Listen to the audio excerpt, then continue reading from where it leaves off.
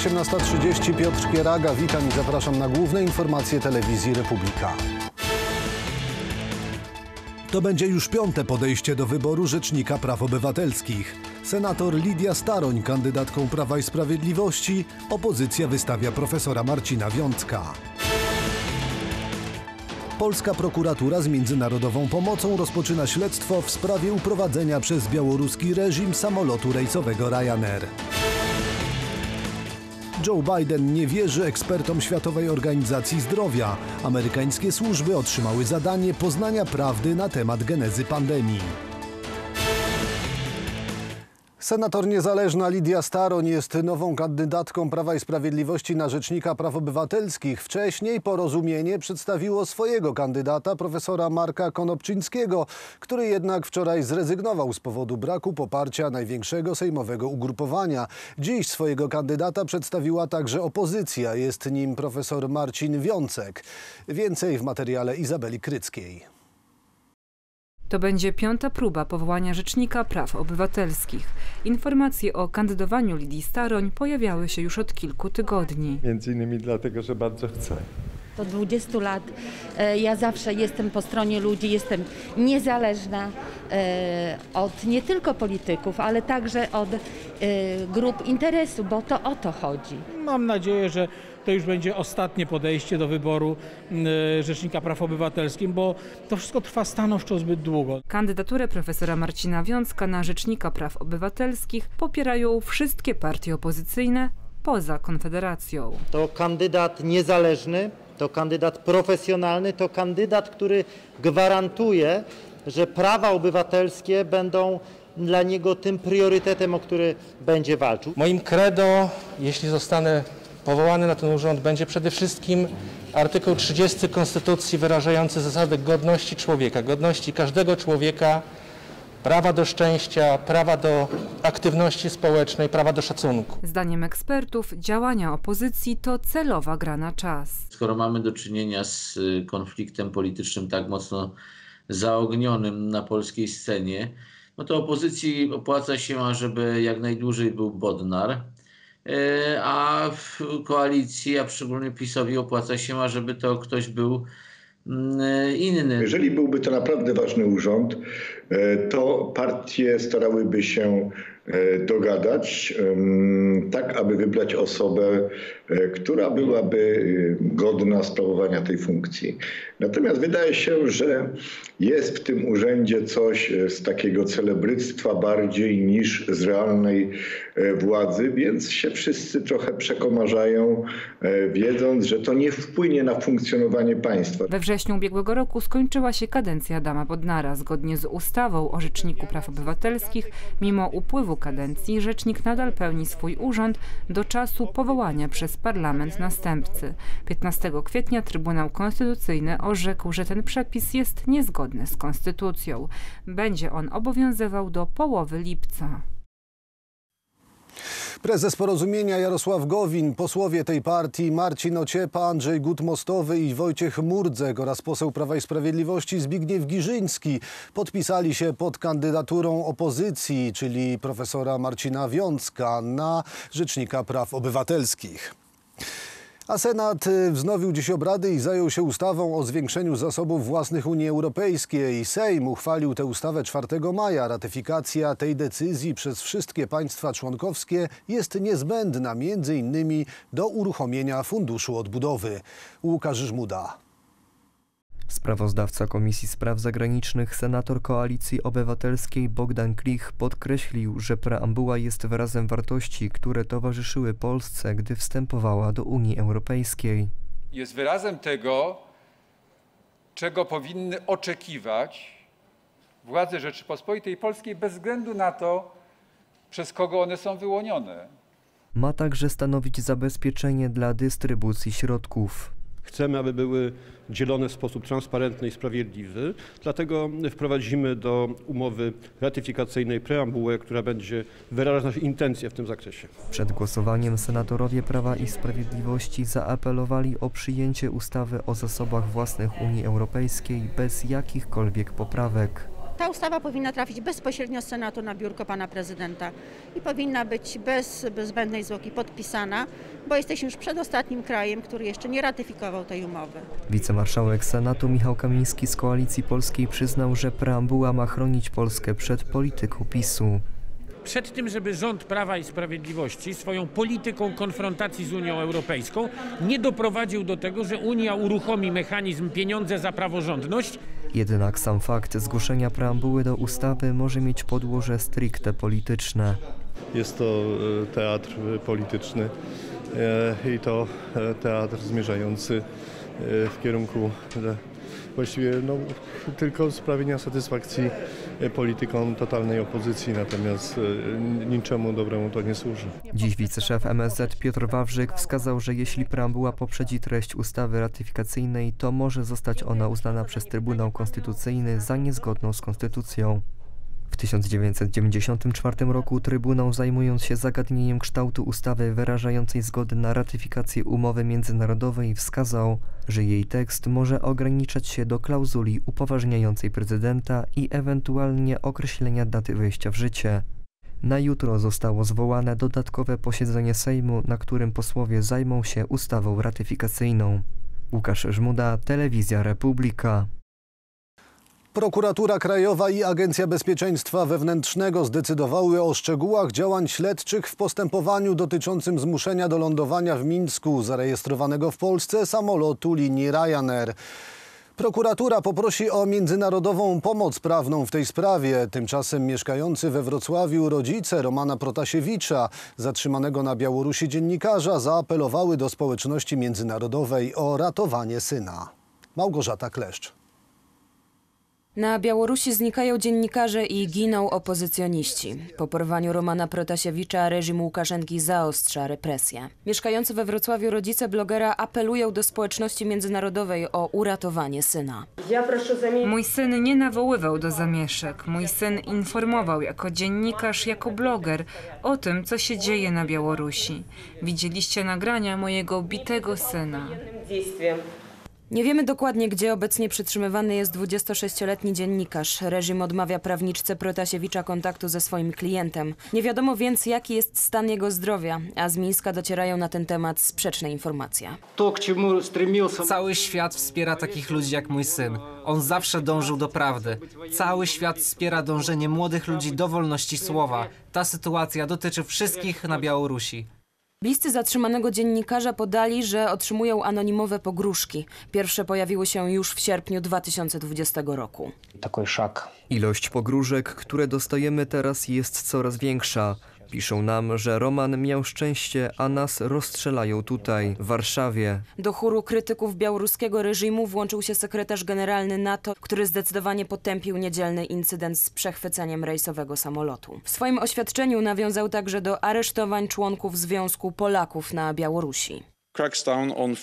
To było porwanie samolotu. Obywatele państw sprzymierzonych narażeni zostali na ogromne ryzyko. To rażący atak reżimu w Mińsku na podstawowe prawa demokratyczne oraz niezależne media. Żądam natychmiastowego uwolnienia dziennikarza Romana Protasiewicza oraz jego towarzyszki Sofii Sapiegi, jak również wszystkich innych więźniów politycznych, w tym członków Związków Polaków na Białorusi. W związku z ustalonymi w Brukseli sankcjami, od dziś polska przestrzeń powietrzna jest zamknięta dla przewoźników lotniczych z Białorusi. Historia ostatnich lat pokazuje, że dyktatorzy coraz częściej skłonni są podejmować spektakularne, brutalne akcje przeciwko swoim obywatelom na oczach społeczności międzynarodowej, czasami nawet poza granicami kraju. Tak było w przypadkach Rosjan Litwinienki z Saudyjskiego dziennikarza Khashoggiego, brata koreańskiego dyktatora Kim Jong-nama, a teraz białoruskiego blogera Protasiewicza. Małgorzata Kleszcz, Telewizja Republika. W trakcie drugiego dnia oficjalnej wizyty w Gruzji prezydent Andrzej Duda spotkał się z prezydent Salome Zurabiszwili. Najważniejszym tematem rozmowy była gruzińska droga w kierunku integracji z Unią Europejską i NATO. Strona polska zadeklarowała także, że podzieli się z Gruzinami szczepionkami przeciw COVID-19. Obecne czasy wymagają od nas wszystkich większej solidarności. Liczymy na wsparcie naszych partnerów w drodze do Unii Europejskiej i do struktur NATO.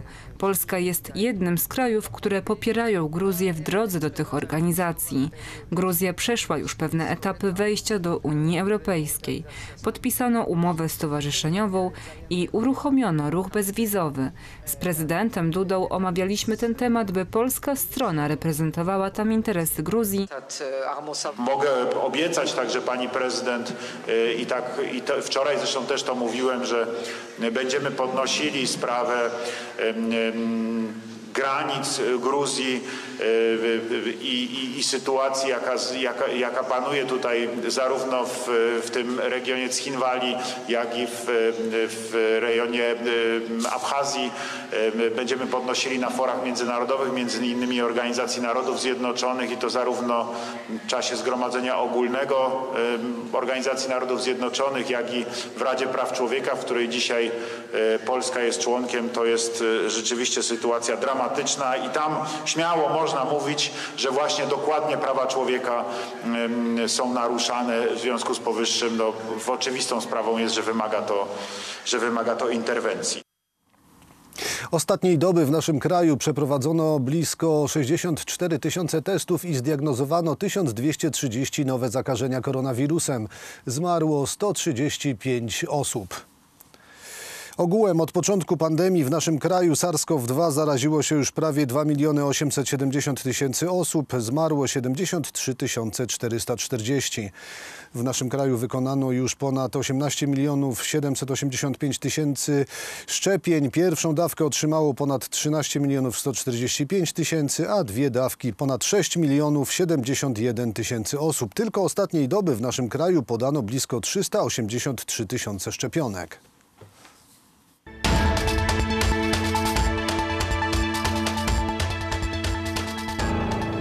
Jeszcze przed ogłoszeniem powstania kampusu Polska Przyszłość e, Rafał Trzaskowski spotkał się online z politykami niemieckiej Hadecji, a także z przedstawicielami finansowanej przez Berlin Fundacji Adenauera oraz reprezentantką Junge Union i ambasadorem Niemiec w Polsce. Niezależnie od tego, czy finansowany przez Niemców kampus dla polskiej młodzieży był właśnie efektem tych rozmów, nie jest to jedyna związana z niemieckimi pieniędzmi inicjatywa Trzaskowskiego. Marcel Hulewicz.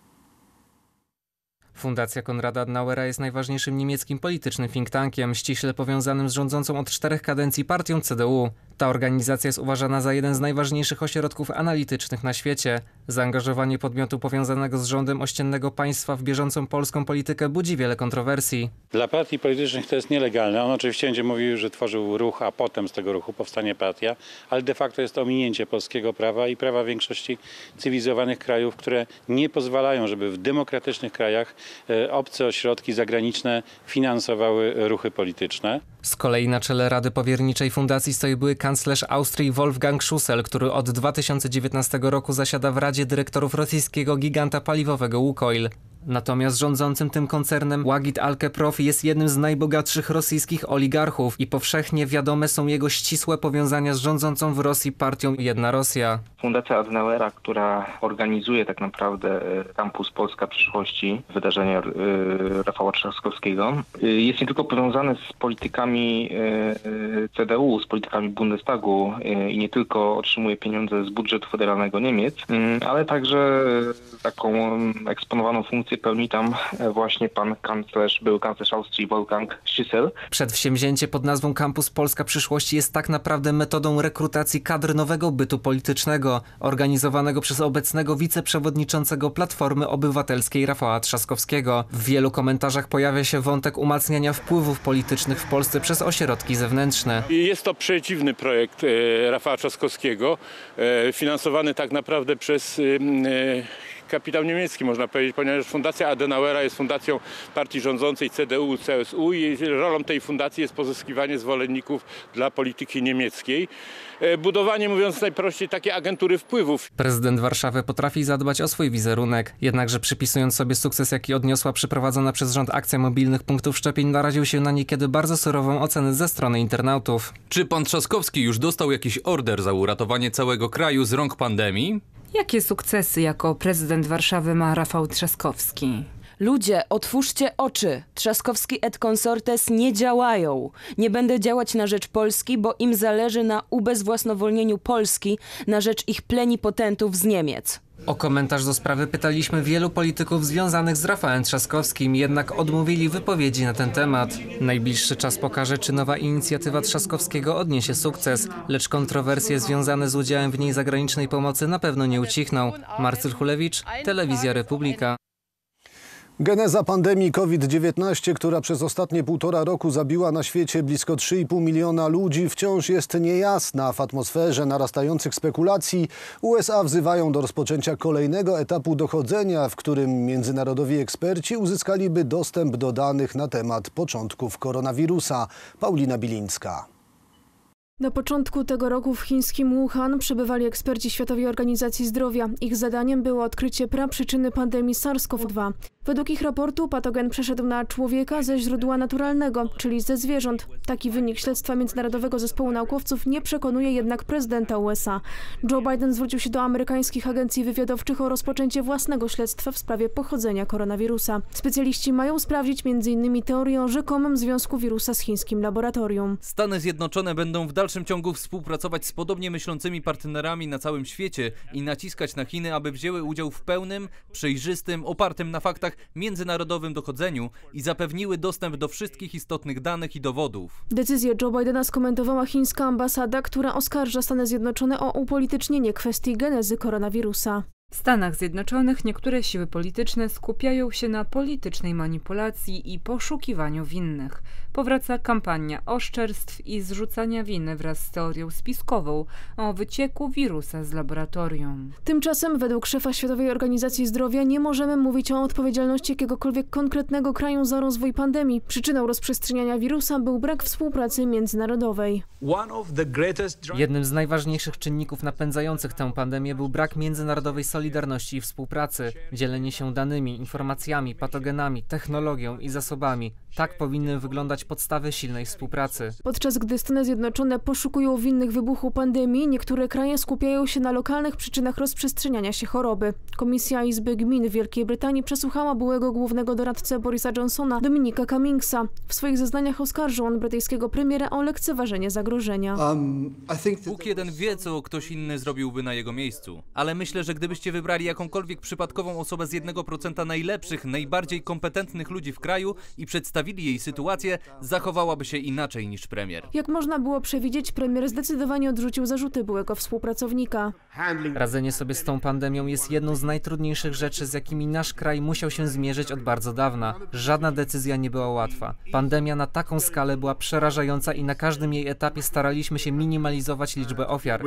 Szef Światowej Organizacji Zdrowia Tedros Ghebreyesus poinformował, że osiągnięto konsensus w sprawie specjalnej konferencji organizacji, na której omówione zostaną instrukcje na wypadek kolejnych pandemii. Tym samym WHO poparła propozycję Unii Europejskiej, polegającą na wypracowaniu międzynarodowego traktatu dotyczącego zaangażowania wszystkich krajów w zwalczanie podobnych zagrożeń dla całej ludzkości w przyszłości.